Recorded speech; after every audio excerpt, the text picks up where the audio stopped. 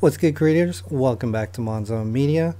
Now if you notice my setup is quite a bit different, you can see more of the background and that's because I'm using the Canon M50 in 4K with the 15 to 45 millimeter lens. Now why I'm doing this is because I wanted to show you some examples of what we just talked about in the previous video on the limitations of 4K with the M50. Throughout the video you may see the camera lose focus every now and then and I'm going to go through a few examples to show you what I meant when I said that the 4K was a little unreliable. As I mentioned in the previous video though, in 4K, there is a 2.56 crop factor. But what happens in 4K is that this section becomes even more cropped. So what that means is the kit lens at 15 millimeter is going to actually be closer to 38 millimeter in focal length. So it's not terrible, this focal length, it's definitely workable. And of course you can make adjustments to, you know, your particular environment. In terms of my setup, uh, the camera is about an arm's length away, like I'd say an arm's length and a quarter. I can almost touch it if I lean forward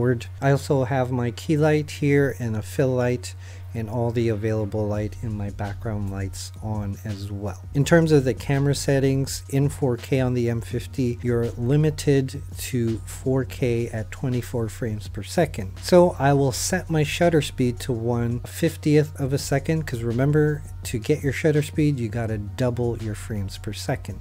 My aperture is at 3.5 and this is the most I can get from the kit lens at 15 millimeter and currently the ISO is at 500 which is not bad you still get a really good image quality.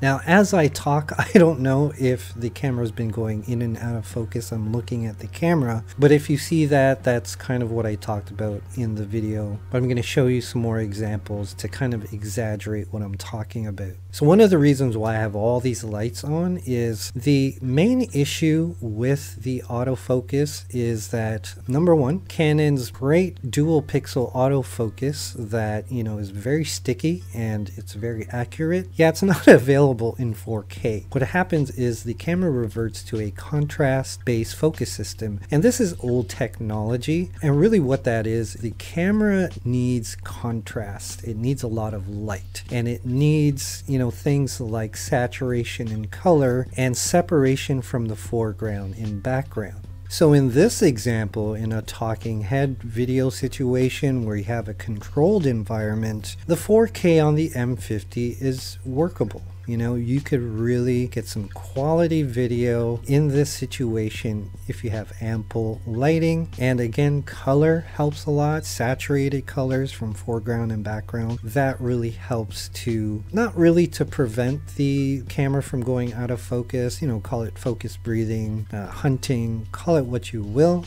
It really will help limit that issue. So what the issue is with contrast based focusing is that it will have trouble trouble locking focus, especially to moving subjects. If I move my head around,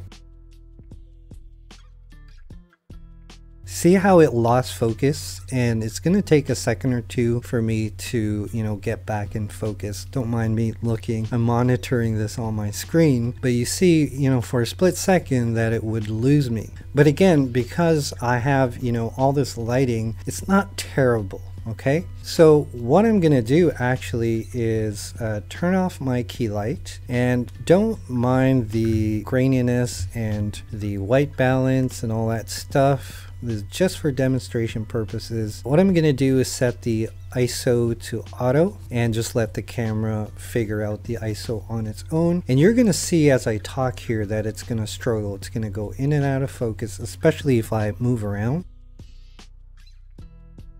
and especially pay attention to the background and see how it's in focus and then now it's going to focus on my face. That's pretty much the main issue we're dealing with here and even more so if I were to turn off the fill light uh, which I will do right now. Now you see just with available light how much the camera is struggling to lock the focus. Now, in all fairness, a lot of cameras in this price range are going to struggle in low light situations. The M50 is not the greatest for low light situations, and I'm using the kit lens. With that being said, if I were just in regular full HD at 1080p, even in this lighting situation, the M50 would still be able to lock focus on my face. See, right now, as I look at the screen, the background is more in focus than my face. You see it go back and forth. That's that's not good. you know what I mean? As much as possible, try to have as much lighting as possible. So I'm going to put my lights back on here.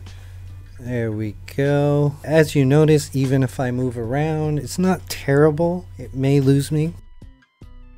There you go, it lost me. But then it takes a second and it's locked back in focus. It's not unusable eh, by any means. Where I can see this be a problem, a lot of the videos that I do are talents, uh, models, or whatever, and they're moving around. That's where it will be unreliable because if they're moving quickly and the camera can't lock its focus, then I'm gonna be in big trouble if I don't get those shots that I need. You know what I mean? So what I'm gonna do is show you another example of me kind of just walking back and forth in my room here, and you're gonna going to see that even more.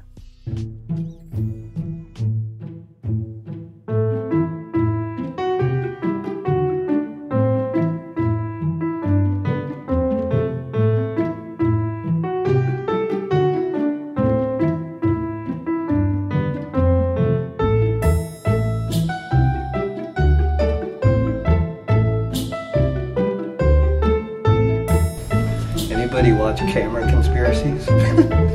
That's how I feel like right now. Now another thing you can do to alleviate the focus issues is focus manually. Now I'm not going to go over it in this video but I'll leave a link in the description below and put it in the end card on a video I did about using manual lenses. There I talk about focus peaking and what focus peaking is it's basically a outline that can be red, blue or yellow that you know when you manually focus on the subject you're going to see a red outline on the subject and when you see that that's when you know that the subject's in focus.